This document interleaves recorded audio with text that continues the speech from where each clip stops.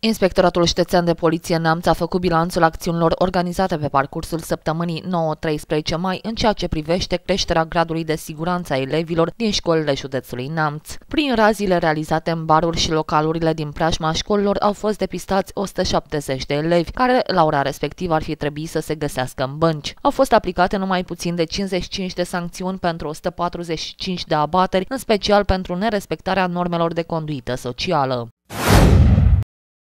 Săptămâna trecută, polițiștii din cadrul Serviciului de Ordine Publică, din cadrul structurii de um, prevenire a criminalității, cât și structurile de poliție rutieră au acționat pentru creșterea gradului de siguranță a elevilor în școli și în zonele adiacente, pentru care a activităților desfășurate au fost identificați 170 de elevi care absentau de la cursurile școlare, uh, iar unitățile economice din apropierea um, școlii au fost verificate inclusiv. Totodată, în urma activităților desfășurate, polițiștii au constatat 145 uh, um, de abate și au aplicat sancțiuni contravenționale, 55 doar pentru nerespectarea normelor de conviețuire socială.